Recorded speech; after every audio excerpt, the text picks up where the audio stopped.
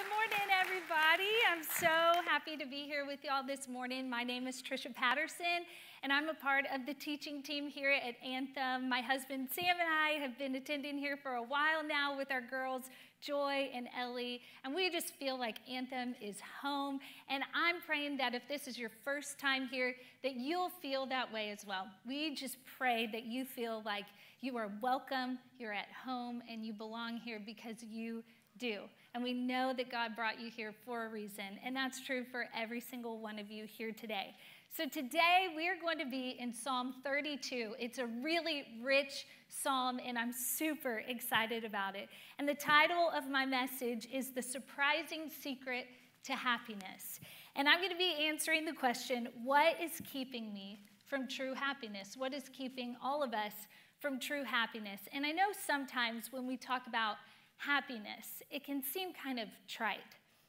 Happiness feels very elusive sometimes. And I know that many of you probably walked in here today and you are feeling the heaviness of life, the reality of life, and there's a lot of tragedy in life. And sometimes when someone throws out the word happiness, you think, well, how could I feel happy? But what we're talking about today is so much deeper than the happiness you might be thinking about. It is a deep contentment and joy that we can only experience through Jesus Christ. So I just wanted to lay that out there as we begin talking about happiness. This is something deeper than I think any of us could really even imagine the happiness that God intends for our lives. So before we jump in today, I just want to pray over all of us and pray for myself as well that the Spirit would come and be among us. So let's pray. Heavenly Father, God, we just invite you into this place. We know that you are here, God. We're just in awe of who you are. After singing and worship, Lord, I just I just cannot even fathom your love that you would send your son Jesus for us. We're so undeserving that he would become Emmanuel for us, God with us. We're so grateful, God. And I just pray that none of us ever take that for granted, that we never forget just the gravity and the weight of what you did for us on the cross, Lord.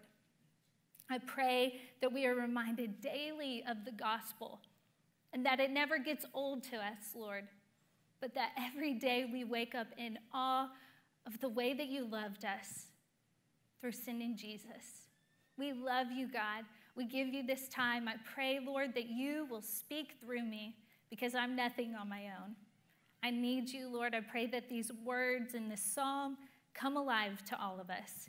It's in your glorious and precious name, the name of Jesus, that we pray. Amen. So, I've mentioned before that my husband, Sam, is a college basketball coach. He's taking our daughter to Sunday school. He's a college basketball coach, and he coaches at Oral Roberts University. But before we moved here, he coached at Baylor University. And his first season, yes, Sic 'em Bears, one Sic 'em Bears, that's awesome. Uh, we got all the OU and OSU people in here. I'm surprised we got the one Sic 'em. But he, he coached at Baylor University. And uh, if you know the story of Baylor, they were the underdog of all underdogs many years ago in men's basketball. And actually, Sam's first season with the Baylor men's basketball team, they only won one game. But in his last season with the Baylor men's basketball team, they were ranked number one in the nation. And it was fun to watch Sam through those years experience such a great joy when he, when he realized, hey, we're moving towards success.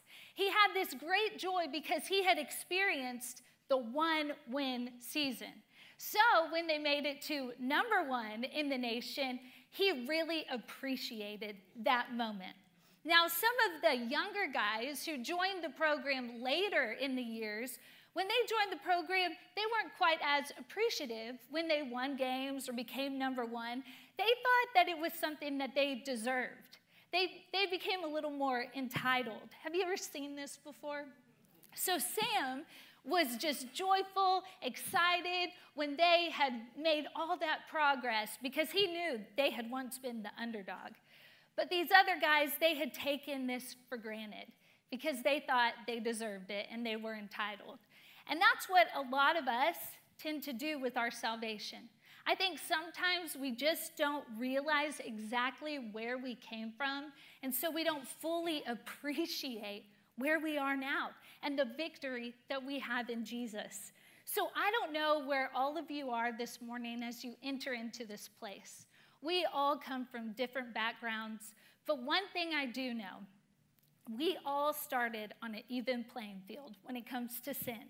We all were the ultimate underdog, up against a wall, no victory in sight.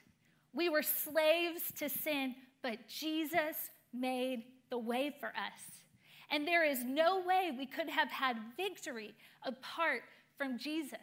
And that's what this psalm is about today. Psalm 32 is about the joy that we experience when we truly understand where we came from. So that's what I'm going to try to do today to help us see where we came from so that we can fully appreciate the joy of our salvation. So let me read Psalm 32 with you. Psalm 32, it says, Blessed is the one whose transgression is forgiven, whose sin is covered. Blessed is the man against whom the Lord counts no iniquity, and in whose spirit there is no deceit. For when I kept silent about my sin, my bones wasted away through my groaning all day long. For day and night your hand was heavy upon me. My strength was dried up as by the heat of summer. We can resonate with that, David. Finally, I acknowledged my sin to you, and I did not cover up my iniquity. I said, I will confess my transgressions to the Lord, and you forgave the iniquity of my sin. Therefore, let everyone who is godly offer prayer to you at a time when you may be found. Surely in the rush of great waters they shall not reach him. You are our hiding place. You preserve me from trouble. You surround me with shouts of deliverance. Then the Lord begins to speak and he says, I will instruct you and teach you in the way you should go. I will counsel you with my eye upon you. Be not like a horse or a mule without understanding, which must be curbed with bit and bridle, or it will not stay near you. Many are the sorrows of the wicked, but steadfast love surrounds the one who trusts in the Lord.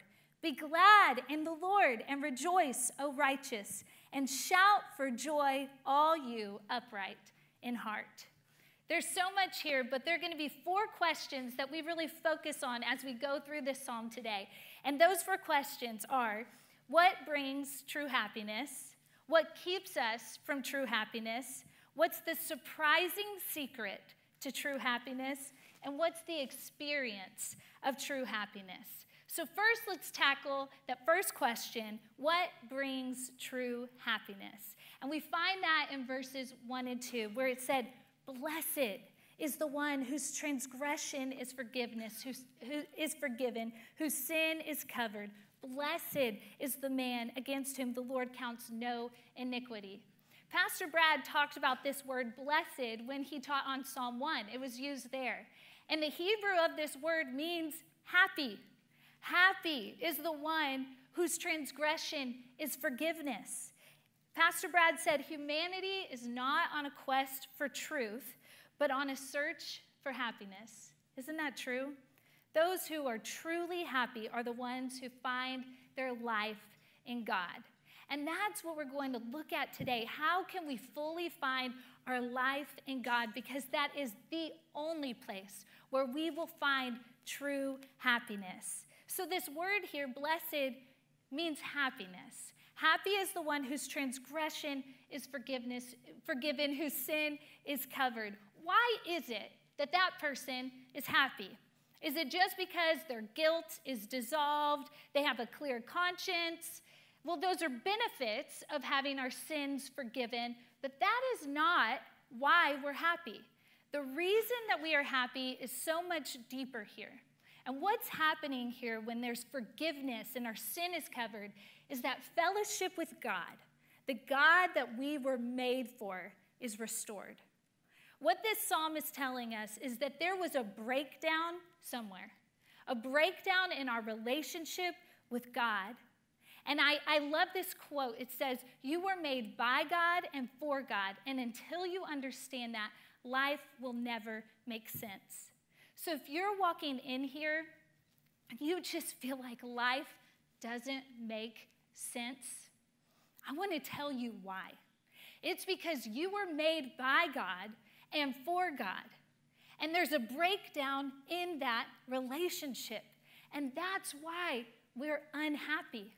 And even for those of us who know Jesus Christ, sometimes we can feel unhappy in this relationship. And what I think it might be is that the closeness of our relationship isn't what it should be. We might have a relationship with Jesus Christ, but true happiness is when we're in that close relationship with Him because that is what we were made for. So that's the big idea of Psalm 32 is to be in close relationship with God is true happiness. It sounds trite, but it's not at all. This is the deepest truth that we can come to know in life that we were made for relationship with God. So, how do we get there? My deepest desire as I was praying for you this week, I just really prayed that the Lord, by His grace, would show every single one of us that He truly does intend for us to live a blessed life, a happy life. And it's hard for us to really believe that sometimes. I don't know, is it hard for you? It's hard for me sometimes to think, God, do you really intend for me to live a happy life? But He does. He wants us to live this blessed life, and He knows that it only happens through Jesus Christ. And I want to be completely clear today blessedness and happiness is not connected to wealth, health, circumstances, or material things. It's not connected to any of those things that the world tells you will give you happiness. But happiness is only connected to one thing and that is closeness to the God that we were made for. You know, my testimony is that I became a Christian when I was seven years old. So I've, I've walked with the Lord most of my life. But I feel like the theme of my life is this line from Come Thou Fount. Y'all know that hymn? One of the lines says, Prone to wander, Lord, I feel it, prone to leave the God I love. I deeply love God but I also see the sin within me that makes me prone to wander. And time and time again in my life, I felt myself wandering away from the God that I loved. I thought, well, maybe on the search for happiness, I can actually find happiness through that relationship or that job or making that amount of money or if I fit into that size of jeans or if I look this certain way, or if I have that new house, that might make me happy. I mean, these are actual things that I have really sought after in my life to find happiness. And over and over again, by the loving grace of God, He pulls me back and He reminds me that's not going to satisfy, Trish. That is not where you will find happiness. And I just hope that today, as we open up the Word of God, that you will see that that is true. We have these wandering hearts, and we're going after all these different things. And I don't know what it is for you, it's different for all of us. The things that we seek to find this happiness that all of us desire. But the only way we are going to be truly blessed, truly happy, is if we come to the one that we were made for. So I want to ask you the question what's your status with God? What's the status of your relationship with God?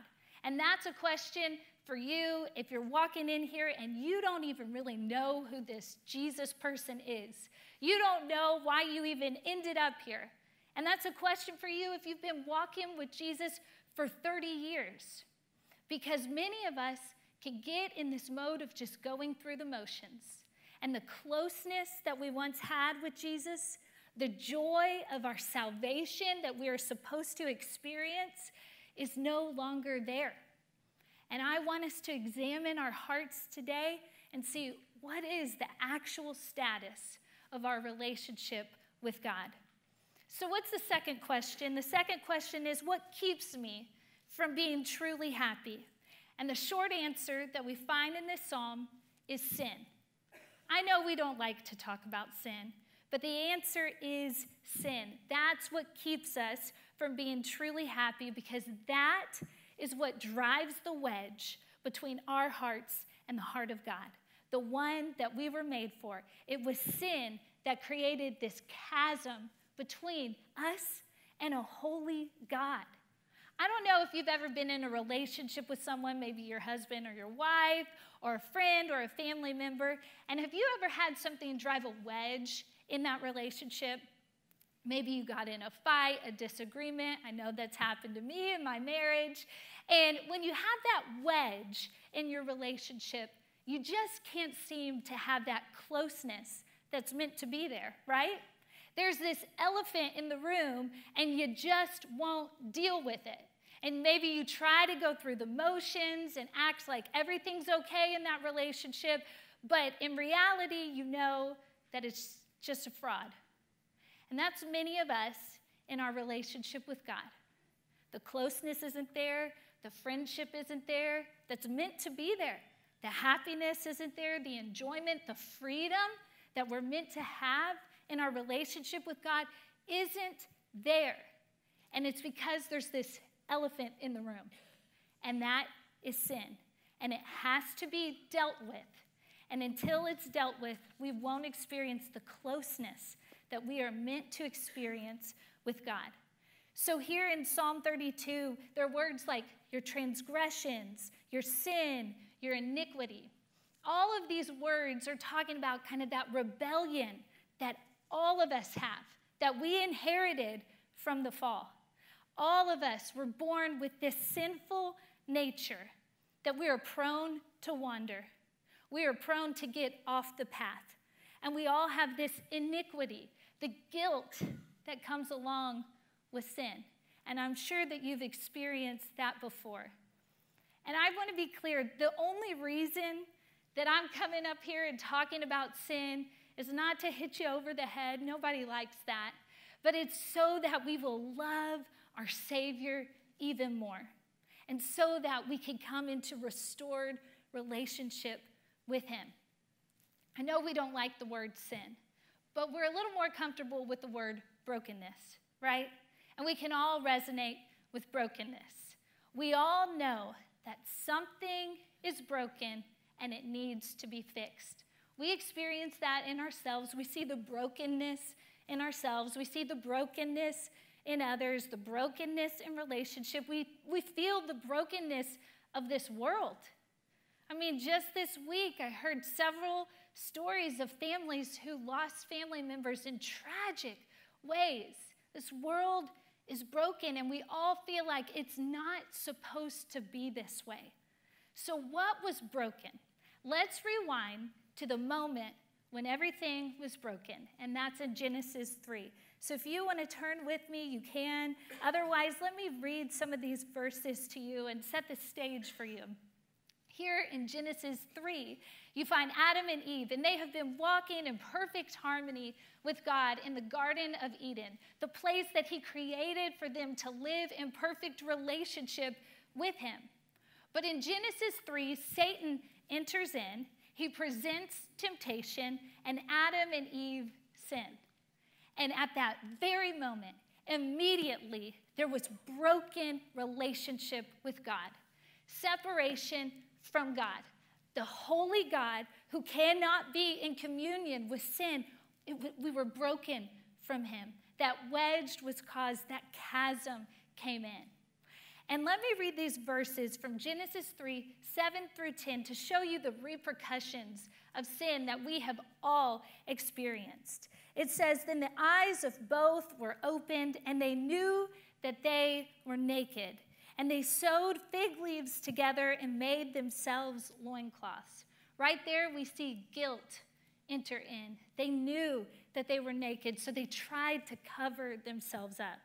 And they heard the sound of the Lord God walking in the garden in the cool of the day, just as he did in the days before when they walked together. And the man and his wife hid themselves from the presence of the Lord God among the trees of the garden. Right there, shame entered it into the picture. And then next it says, But the Lord God called to the man and said to him, Where are you? And he said, I heard the sound of you in the garden, and I was afraid. Fear enters in because I was naked and I hid myself. So, three repercussions of sin that we see right here guilt, shame, and fear immediately enter into the picture.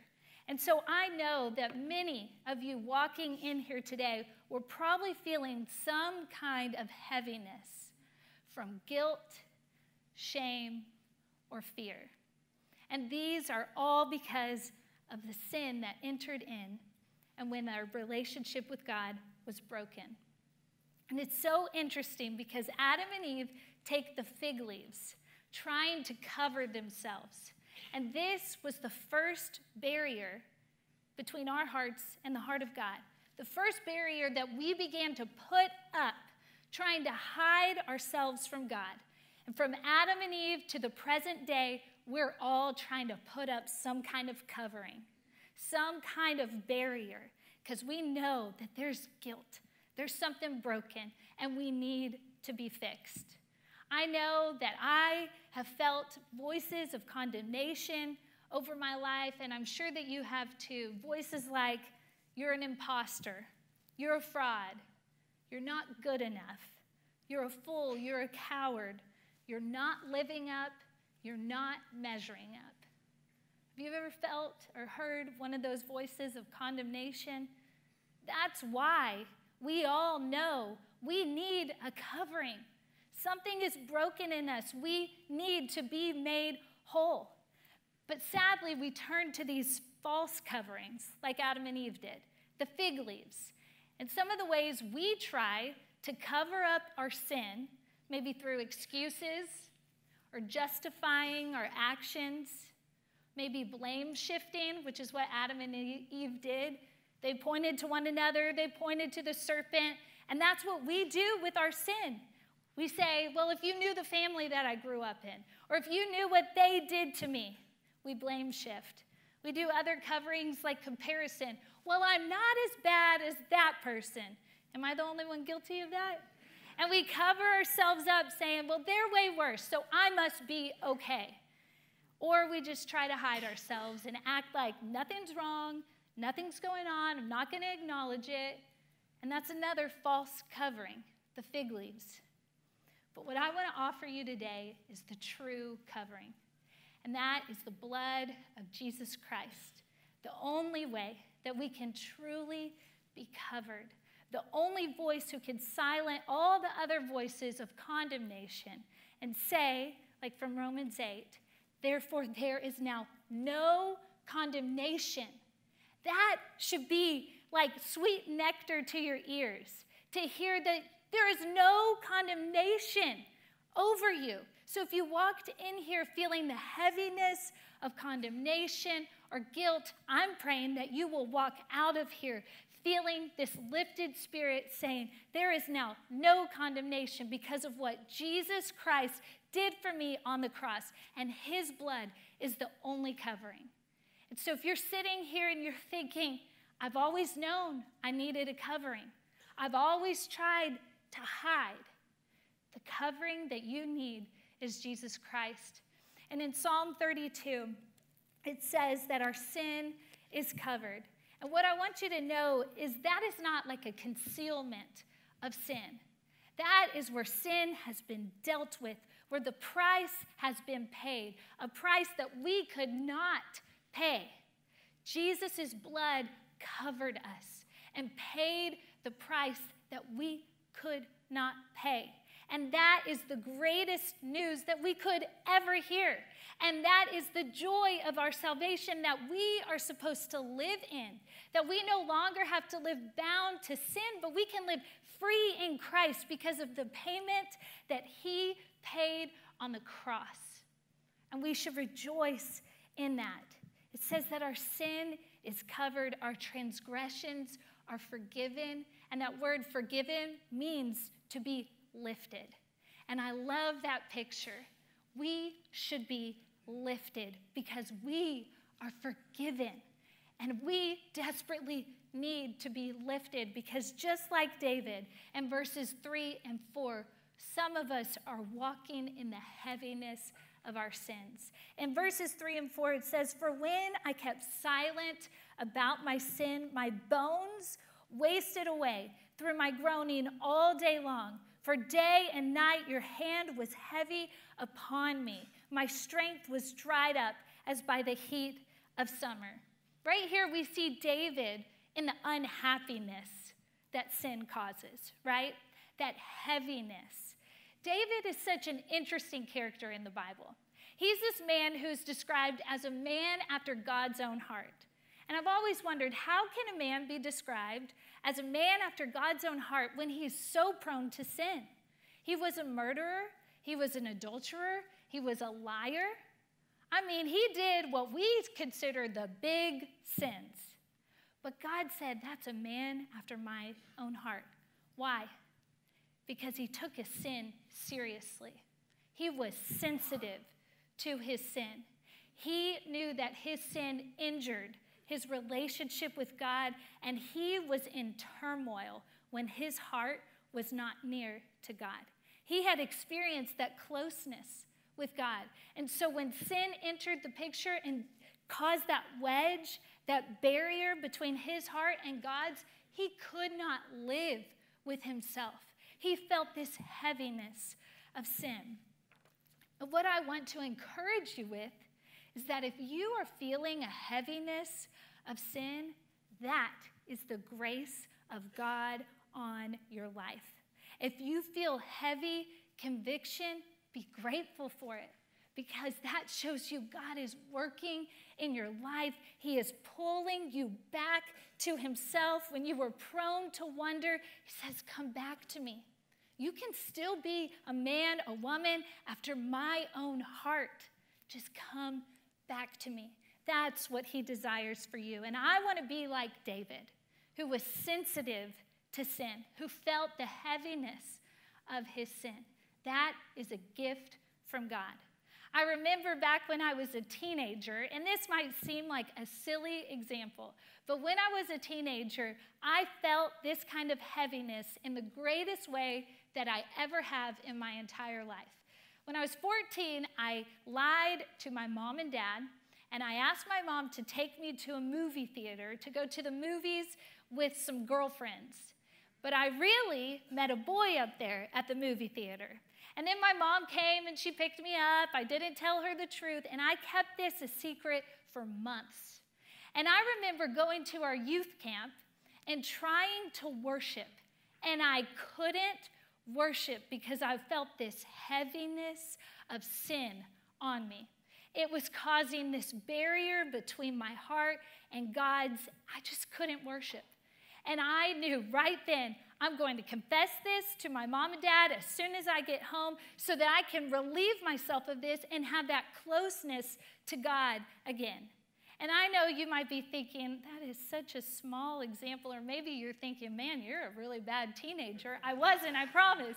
But but what I'm trying to say is, I'm so grateful that I felt that heaviness of sin on my life then because I have done everything I can to not feel that again.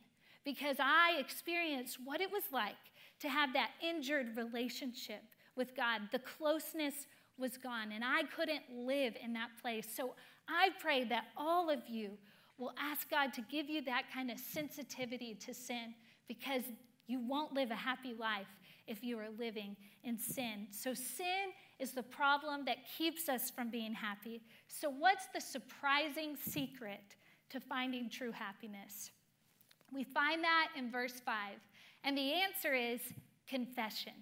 And I know that doesn't sound like a very fun answer, but that is the key to finding true happiness. It's confession. In verse 5, David says, Finally, I acknowledged my sin to you, and I did not cover my iniquity.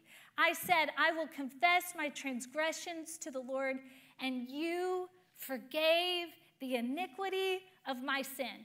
Sometimes we read a line like that and we just go past it, but y'all, God forgave the iniquity of his sin, wiped his record clean when he came before him and acknowledged his sin, took full responsibility of his sin, turned from his sin because repentance is always a part of confession.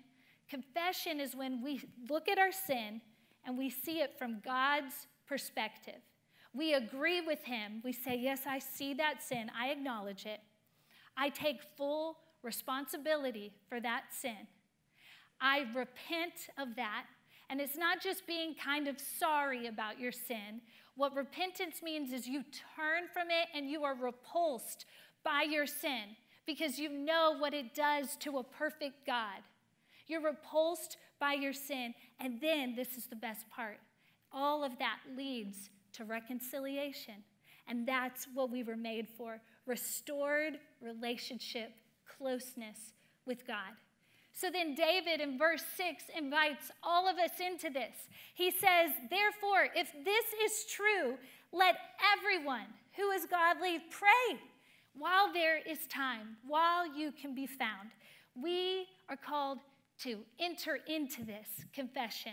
We're invited into this. So, what does this mean for us? We need to see our sin, we need to see where we came from. Like Ephesians 2 says, we need to recognize that we were dead. We were doomed forever.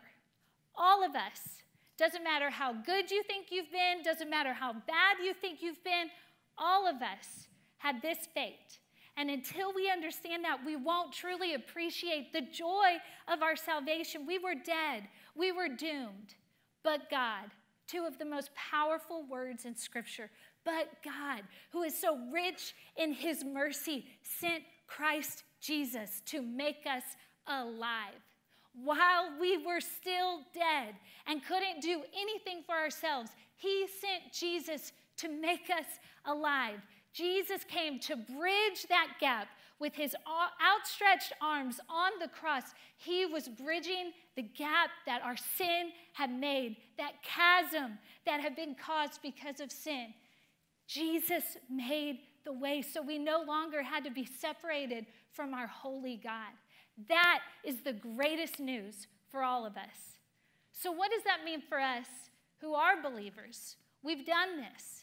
We've confessed our sin, and we've, we've done what 1 John 1 9 says. If we confess our sin, he is faithful and just to forgive us and cleanse us of all unrighteousness. I want to be clear that is a once for all time forgiveness. Once you're saved, you're always saved. You are secure in that salvation. But what we find from David is that confession is still a continual part of the life of a believer, and it's a very important part. Continual confession and repentance should be at the center of the life of a believer. It's not in that place that we secure our salvation, that's secured by what Jesus Christ did on the cross. And if we ever try to add anything to that, we're diminishing the completed work of what Christ did on the cross. But confession is that continual recognition of our sins so that we can come to that place of closeness, that happiness where we're meant to be. So, experiencing the joy of your forgiveness is contingent upon a lifestyle of continual confession and repentance. And notice I said experiencing the joy of your salvation, not experiencing your salvation. You can experience that if you come before Christ, you recognize I'm in need of a Savior, you will experience salvation.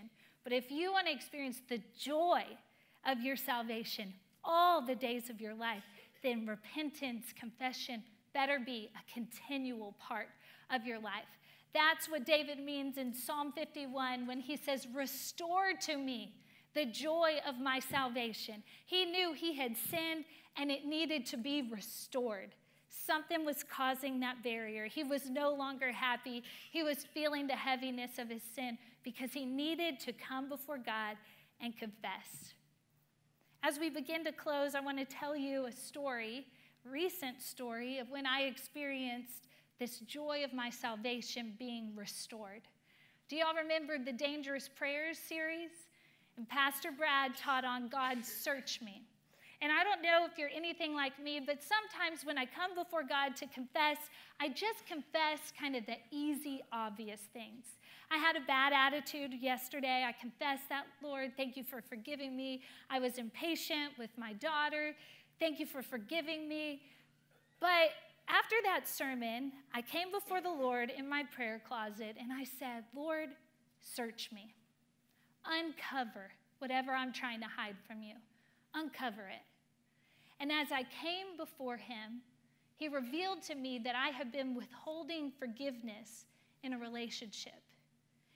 And I realized that this, this way that I was withholding forgiveness was causing a barrier between my heart and the heart of God.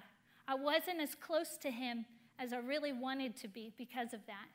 And I had to make that right. And He reminded me, He said, Trish, how can you withhold forgiveness from someone when I have poured it out so freely on you? And so I went to this person and I made it right. And I'm telling you, before I confessed my sin, I literally felt aching in my body, physically was affected, mentally was affected.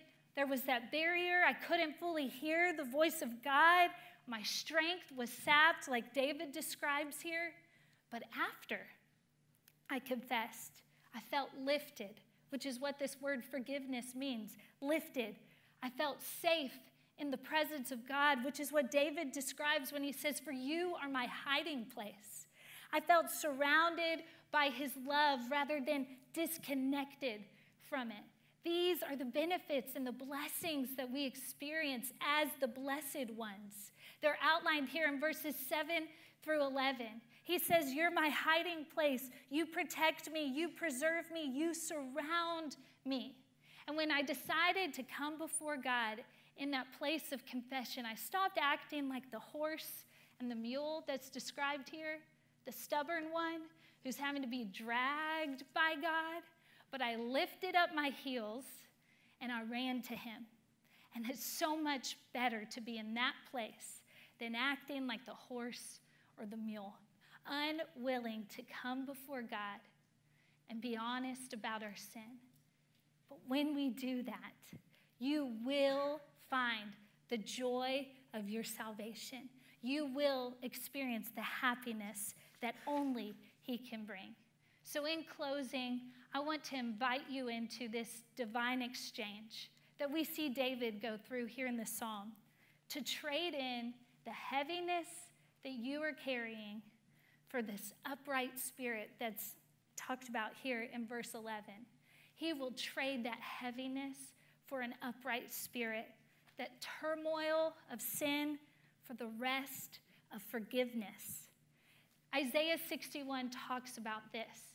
And in Isaiah 61, it says, You'll get beauty for the ashes, a garment of praise for your heaviness, liberty for the captives, freedom for prisoners.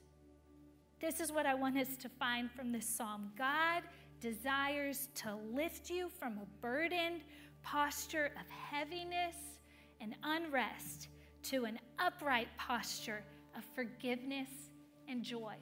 That's what He intends for your life. So if you're ready to make that trade, make today that day. I promise you, you will experience the joy of this forgiveness that I've described. Will you all stand to your feet with me? I want to pray over us.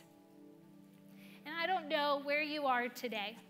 I don't know if this is the first time that you've been introduced to Jesus, the first time that you've heard about this, but if you have never crossed the line of faith and today you're sitting there, you feel the conviction of your sin, you're saying, I want to know this one Jesus who can make the way for me, who can bring me the joy that I've been searching for, I want to introduce you to him. He will make the way for you. He is the one that you were created for. Just invite him into your life today. And if you're a believer standing here today and you feel like you just have been living a life in sin, disconnected from God, maybe you have some unconfessed sin that's lingering on your heart, and you just know you can feel that heaviness of His hand, which is His grace, laying on your heart to get this right so you can live in closeness with Him. I beg you, do that today. Like David says, while there is still time, while your heart is still sensitive to hear that voice, deal with it today. And if you're a believer in here and you are living in the joy of your salvation, I want you to just rejoice in that, in this time of response. I want you to think about what He has done for you. Live in the shouts of deliverance. Be surrounded by His unconditional love, like this psalm says. Live there, and you will find the happiness that you're searching for.